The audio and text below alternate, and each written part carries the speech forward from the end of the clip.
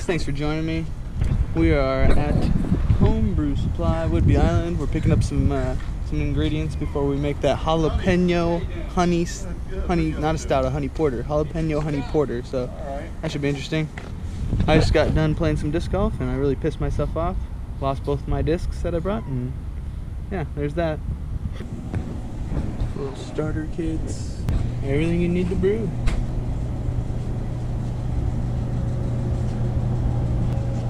Got some 1056 Y yeast. It says White Labs, but I don't see any White Labs in here. Oh wait, yeah, there is some down here. Isn't that White Labs in the Pure Pitch? Uh, uh, I don't see any white labs. Yeah, I don't either. Shop looks great, Terry. Yeah. Where are we exactly? This is uh, Wicked Tootin' Brewing Company and Whidbey Island Homebrew Supplies. Very cool, We got very homebrew cool. supplies. You can taste it before you take it home. All that jazz. Awesome. Bond, not a 10. It's real Oh, the close. Sega tent, the crystal tent? I'll Yep. take it. It'll work. And then I got lots of chocolate. I'll take that. and a lot of beer too. Yeah, I've got a soda fridge and then the beer fridge to the right. Nice. and uh, do you have um, some Get wicked. Uh, Nice little tasting place too. Wow. Do you play instruments? Because I guess you can just come and pick one up. Look at that. What do we got here? Look at recipe kits.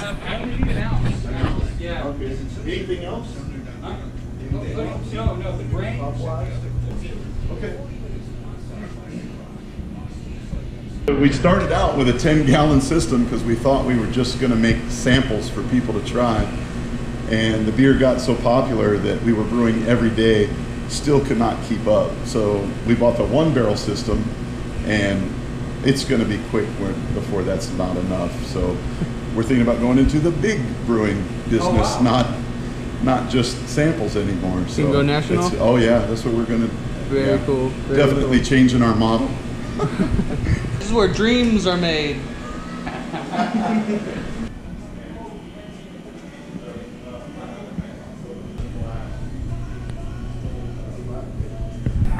Man, Terry's been really cool.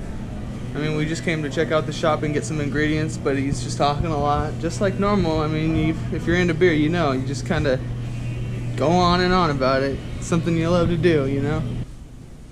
Bunch of grains. God, look at all these, man. Pale Skagit. Take a look, why don't we? Uh oh. Running a little low, Terry.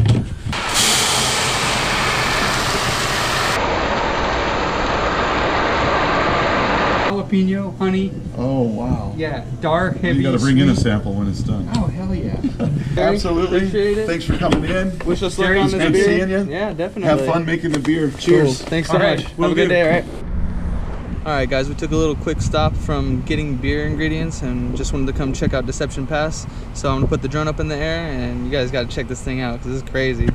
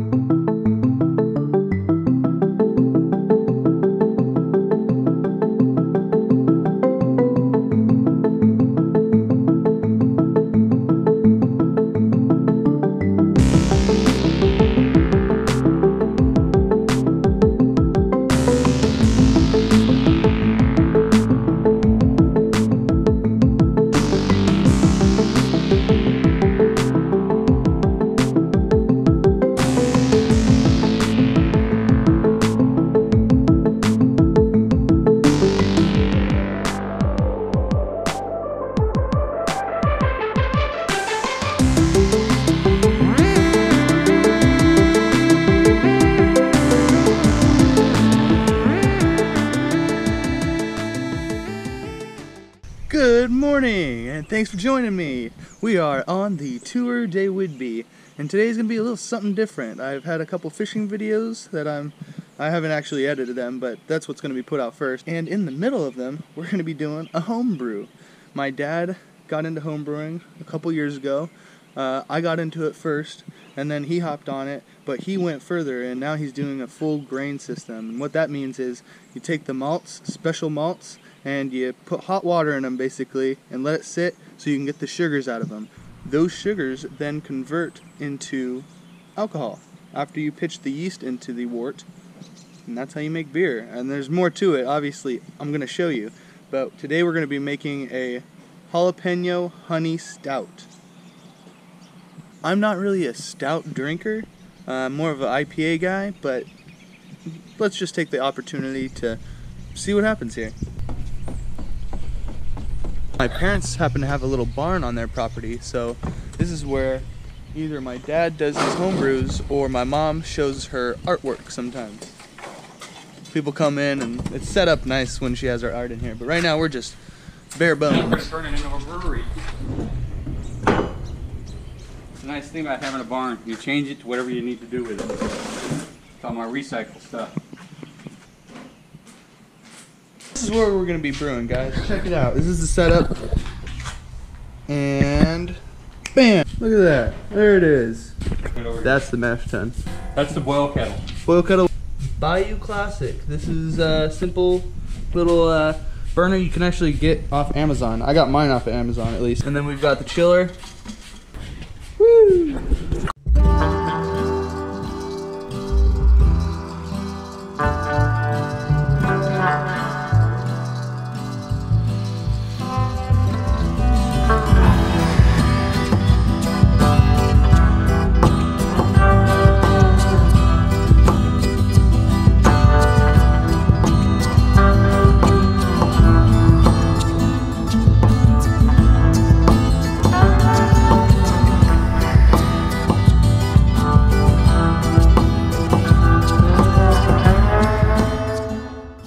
Talking about cleanliness and keeping everything sanitized. We've got our sanitized bucket here. We've filled up a spray bottle full of sanitizer that we'll be spraying this area down. But right now we're just taking some bleach wipes. Y'all know what bleach wipes are. Wiping the whole thing down and spraying it so it's sanitized. Okay, just so you know what a mash tun looks like. Mhm. There it is. It's just a big thermos with a uh, false bottom. So what'll happen is when I put the grain in there, it'll hold this down, right? And then as the sugars and whatnot are extracted, they'll go down this tube. Cool. Okay? So sugar factory. Sugar factory, essentially. Alright, what we're doing now is gonna add some hot water. Um, it's not up to temp yet, but we're gonna add it to the mash tun to warm it up before we put the grains in. That way it's all hot, so we hold that temperature for longer, just a more precise temperature. Need it to be at this certain temperature for about an hour while it extracts all the sugars. So this is this is eight pounds of Copeland Pilsner. It's two pounds of uh, or four pounds, I forget which, of chocolate 350. And then Sorry. a little caramel 15.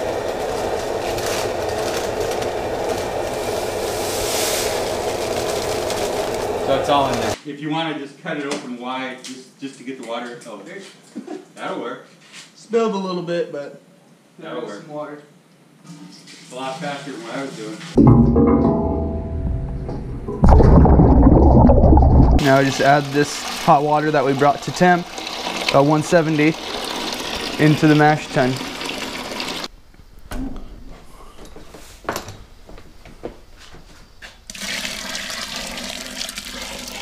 Oh, there she goes. And the smell, you can't get the smell on camera, unfortunately. The smell is just like your best oatmeal kind of bread smell that, you know, first thing in the morning, just, ah.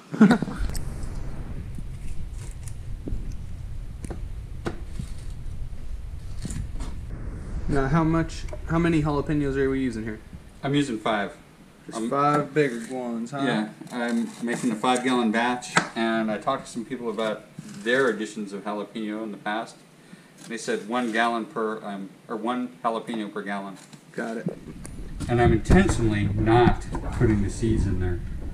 Yeah, that was just too hot, huh? Yeah, yeah, I don't want the heat, I just want the flavor.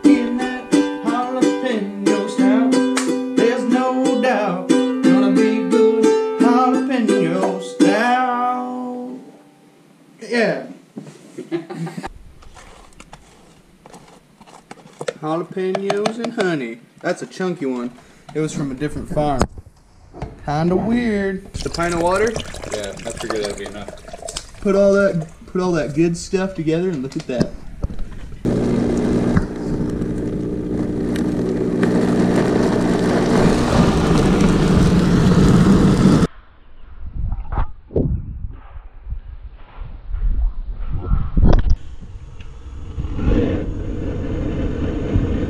Ah, the sun finally came out. Beautiful. Look at this place. Quite lovely. And we just turned their work back on, boil. We're, we're measuring the sugars right now. Just Tell us how much sugar we extracted. Ingredients. What do we have here? So I'm doing the grain. I'm going to extract the sugar from that. Then I have just one pound of sugar, uh, corn sugar. Why do we need more sugar? Because I want a high ABV beer, Oh, what's ABV? alcohol by volume, Cool. So what are we shooting for? 8.7, Woo! an imperial stout. Imperial Stout. then I've got my hops, my Whirlfloc tablet, Pellets. my Hop- yeast, Hop pellets. and all that stuff's going in there. What's the directly. Whirlfloc tablet for? Makes your beer clear. Helps make the Makes beer. the beer clear. That's that's the important thing. And we will be using Wyeast yes. smack pack. Smack pack, but it's uh, it's either already smacked or uh, the yeast are just going crazy. Because it's a little expanded. Yeah, it's expanded. I'm letting it warm up. 1057 was our extracted sugar level. So that's how much sugar we got from the malts. Now we've turned the boil back on. We're gonna add some bittering hops and we're also gonna add more sugar so we can get the OG up to where we need it so we can have that 8%. smells like a good stout.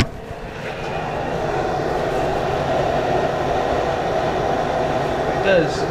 Yeah, I can see it. Yeah. And we're not gonna add too many hops. We're just going for an ounce of Simcoe, which to me smelled dank. I like that smell. And then we have a ounce of Golding, and I haven't really heard of that. But it smells like pickles. what's what's the Golding supposed to be? It's a nice flavoring hop and mellow. These are both kind of like uh, uh, European style hops. Actually, the Simcoe's is a, a Yakima Valley, uh, Idaho, Washington hop that's been made. It's great for IPAs. A great bittering hop. Um, But you're just gonna use a little bit less than you would for an IPA. oh yeah, for an IPA, IPA, lot be less. using uh, twice as much. Maybe yeah. even four ounces. Yeah, yeah. This is, and then the uh, the Golding's just gonna add a nice little mellow flavor to it. It's not. A pickle flavor. Yeah, yeah. Just kidding. Well, what it's it should go well with the jalapeno and the honey. That's Right, what got it. they'll all balance out. Started the timer. We're getting a nice little hot break there. Here it comes. Okay. It's gonna oh, look at overflow. Look at that. It's gonna overflow. You're not worried? Well, it could very well overflow. Oh gosh. Matter of fact, I'm gonna go reach over here. Turn down. Yeah, that's too far though. You just. Oh no, you're fine. You're good. Okay. Perfect. Woo! Perfect. Saved the day. Oh, why the sun go away? Come on. You turned it down. I turned it down. Now a little bit of that Simcoe. All right. Whoa, whoa, whoa, whoa. Keep it down. Keep it down. Keep it down. Look at that. That's a nice break. Oh my god. Turn the flame up just a little bit so it doesn't die. There you go. That's good. Just sugars. Corn sugar. Corn sugar. We're gonna bring up the OG. Getting that getting that corn sugar so we can get OG on it. Get some real OG in there, man. Original gangsters? Uh, no, original gravity actually, but you Okay. know, I'll go with that. As you guys just saw, it was boiling a little bit too much, so just turned it down a tad, got it right to the uh, surface, right to the edge, I should say. And uh, now we're adding a few things. Timer's been set for an hour. Yes. We've added one ounce of Simcoe, and now that was one Well, what I'm adding essentially is one pound of corn sugar. pound. So that was the that half was pound and this is like a half and then this is another 12 ounces I have. Oh, okay. An earlier brew. We have sugar already from the malts that we extracted, and then also we're adding our own sugar so we can get a lot of yeast food, we should say. Yes. These sugars are essentially food for yeast. And when the yeast eat them, they will convert the sugars into alcohol Exactly. by peeing and farting. Well, the alcohol comes from the peeing. The farting makes the carbon dioxide together. It all makes beer. Did you know Which we all that? Do you like beer? Did you know that the alcohol is actually yeast piss? Essentially. All right, here we go with the uh, Golding hops.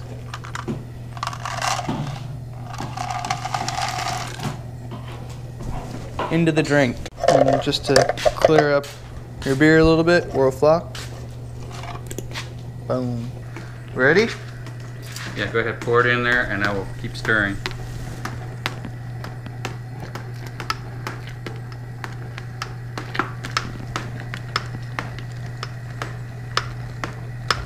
There we go. There she is, boys. It's gonna be subtle, man. Yeah, It's gonna be very subtle. I want it to be subtle. I don't want it to be overwhelming, but Alright. It's gonna be good. it's in there. Even though I don't like stouts, I bet this won't be too bad. it's always better when you brew it, you know? Alright, so we're pretty much done. We've added our final hops and Whirlfloc. We let it boil out.